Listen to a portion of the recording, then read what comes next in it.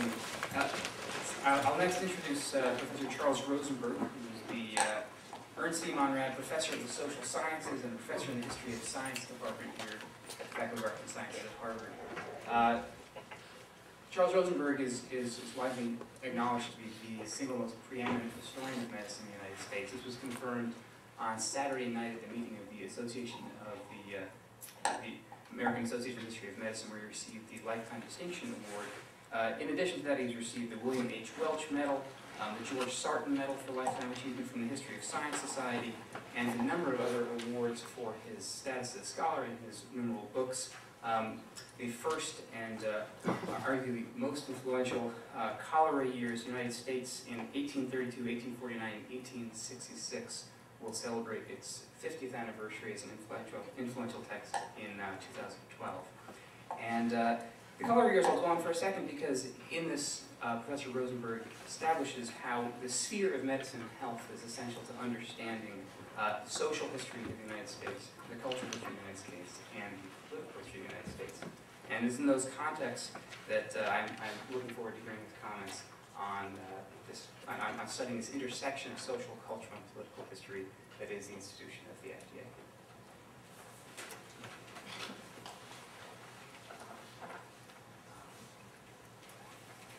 Thank you for that uh, generous introduction. I sort of feel it should be a memorial address. Um, but I'll be brief. I I did notice uh, Dr. Schwartz did talk about not just a history book. Uh, uh, I think it is a history book, which I think is quite a, quite a good thing.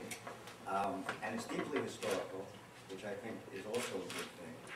There's also another way in which this book is historical, and that is, it addresses a subject that is of very great uh, relevance to so many people today. Uh, Not only in terms of people's expectations or fantasies about cure, but also in the sense that in an era of screening and chronic disease, almost everyone above a certain age is at risk uh, for drug dependency, if we want to call, call it that.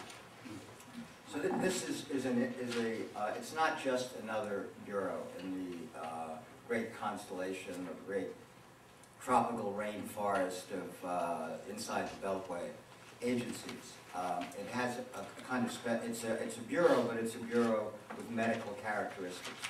And I think those medical characteristics are important. And I can't, I, I'm a sort of an outsider. I'm not, uh, I'm not a pharmacologist, I'm not an administrator, I'm not a lawyer. But, so I, I just want to make some general reactions to the book. Um, and reflect, so I call them reflections. Um, First, I guess, is that I think that the, the term, um, I kept thinking about the term reputation and about the term audience and audience structure. And I can see why it's very useful. On the other hand, there's something kind of static about it. It's, it, I, I'm not happy with it entirely. Um, in the sense that there's a, I think the picture you get as you read the book with increasing power is, I would call it a kind of ecological or mutually constituted complex view in which the arrows keep going back and forth in a very complicated way. And the metaphor of reputation implies performer in the Goffmanian, if you'll pardon that term sense, and audience implies consumer, when in fact they're much more complicated and interactive than that. And that the people in the agency are scientists or, or lawyers, they're they're part of other disciplinary communities. At the same time, they're in a certain social location and have a certain social identity. So that, um, uh, maybe this is a, uh, a kind of petty, uh, distinction, but I think in terms of thinking about how the system works, the- emphasis on the, sort of the, I call it the ecological view, is, seems to me very helpful. The, the other thing that I kept thinking about is, I guess you might call it a functionalist, uh, perspective. If you think about the system, I called it a, uh, maybe system is too dignified a term, but we do seem to get from one day to the next, that the Bureau has, or the, uh, the administration with capital as it is, in this book, has a, a very important, what I would call system maintenance function.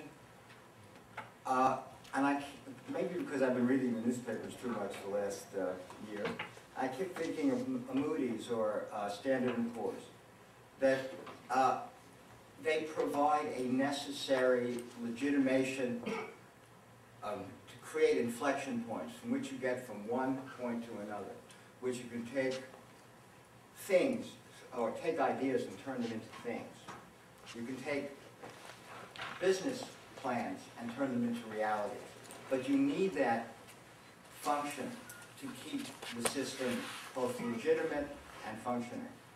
And there's a special thing about medical legitimacy, which I, I, I think may almost get lost in it because it's so obvious, and I just wanted to underline it.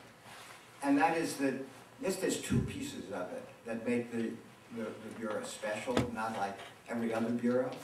One is that it gestures towards science, and since the progressive era, there's always been, uh, it goes and comes, but the notion of objectivity, of transcendence, is built into the idea of scientific ideas, practices, and procedures. And I think that that's embedded in how we think about medicine. And medicine not only is supposed to be ideally objective, it also deals with life and death and with people's hopes for their future, their children's future.